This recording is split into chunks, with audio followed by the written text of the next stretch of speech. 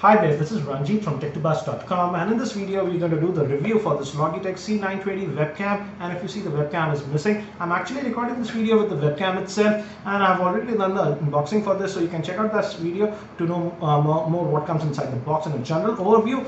And if you notice the audio also is being recorded by the internal microphone of this uh, uh, webcam but I seriously do not like the microphone and the audio quality I would say is just average but apart from that this cam is very good and let's have a closer look at the same now. So this is the Logitech uh, C920 webcam and the first thing when you hold it you feel the heft in the camera and it talks about the premium quality. It's not like a cheap plastic made, it's plastic but the quality is very good and if you notice uh, right away you can tilt it a little bit like this and this but one annoying thing is that you cannot tilt it uh, left to right so that's not there with the camera and we also have this uh, what do you say uh, option to mount a uh, tripod and I actually use it with that most of the time. I have the small tripod and I just use that. So that's a good thing.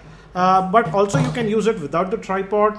You can open this one like this and attach it to your computer or laptop but again uh, the flexibility is a little bit less than other webcams. Only uh, you can tilt it top and bottom and that is also actually pretty less. It's not very wide.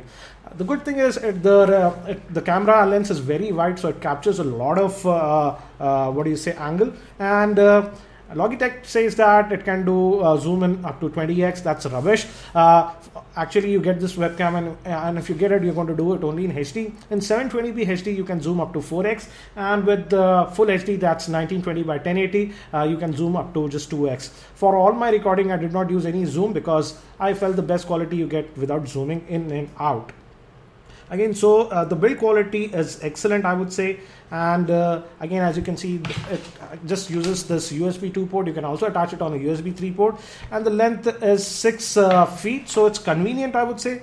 And the uh, uh, cam actually looks very elegant also. Again as i said earlier also though it has this dual stereo mics the quality is just average. And if you look at the box uh, it says that uh, let uh, me just tilt the box. It can do skype recording at 1080p uh, i couldn't test that because the other party also needs to have a very high speed connection. I was able to do video calling i would say at 720p and it worked fine.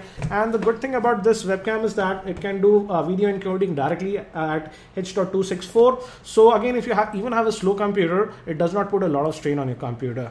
So that's a great thing. And again it uses the Carl Zeiss optics and as you have seen the video quality is very good it can also take still shots at a maximum resolution of 15 megapixel and I would say the quality is just okay but nothing spectacular. Uh, one thing to do note is that if you want to do the video recording at 1080p you have to use the software that Logitech has uh, supplied otherwise you cannot do recording at 1080p. So what do I feel about this Logitech webcam that's the C920 again in terms of uh, video performance I would say it's very good and if I have to rate it uh, let's say 5 is the max rating I would rate it 4.5 out of 5. The autofocusing at times it's a little bit slow but for general usage I would say it's an excellent webcam and also it can do great uh, video output even in low lighting conditions. So that's one good thing. And now if you notice my audio quality is significantly better.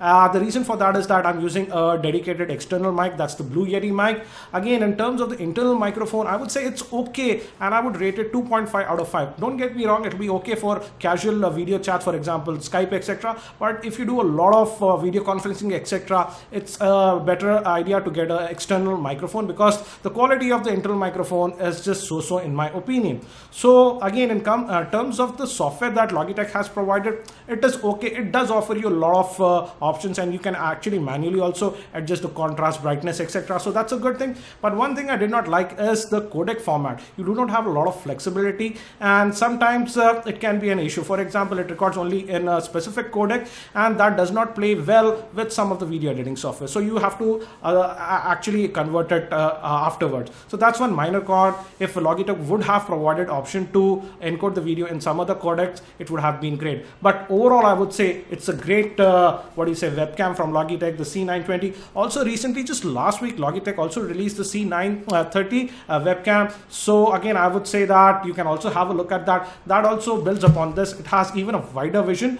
And uh, again, as the C930 has been launched in the market, expect the price pricing of the C920 to be great. Again, I hope this video review is helpful. If you found it helpful, I'll appreciate if you can click the like button given below. That's it for now. This is Ranjit from tech2buzz.com and I hope to see you in my next video.